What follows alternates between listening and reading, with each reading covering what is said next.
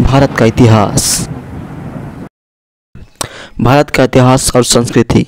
भारत दक्षिण एशिया में स्थित एक देश है, जिसकी सीमा उत्तर पश्चिम में पाकिस्तान, उत्तर में चीन और नेपाल, उत्तर पूर्व में भूटान, पूर्व में बांग्लादेश और म्यांमार और दक्षिण में हिंद महासागर से लगती है।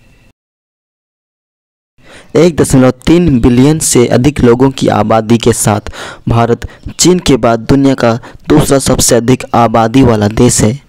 भारत का एक समृद्ध इतिहास और संस्कृति है, जिसमें सिंधु घाटी सभ्यता से मानव बस्ती के साक्ष्य मिलते हैं।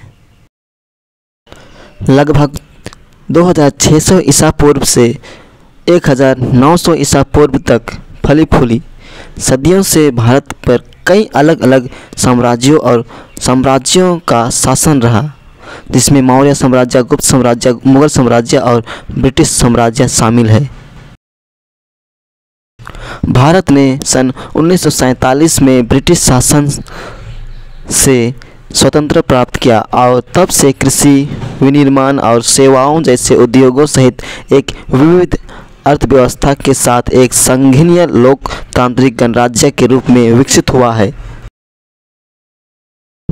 भारत कई धर्मों का भी घर है, जिसमें हिंदू धर्म, इस्लाम, ईसाई धर्म, बौद्ध धर्म और सिख धर्म शामिल है। हिंदी और अंग्रेज़ी भारत की आधिकारिक भाषाएँ हैं, हालाँकि पूरे देश में कई क्षेत्रीय भाषाएँ बोली जाती हैं।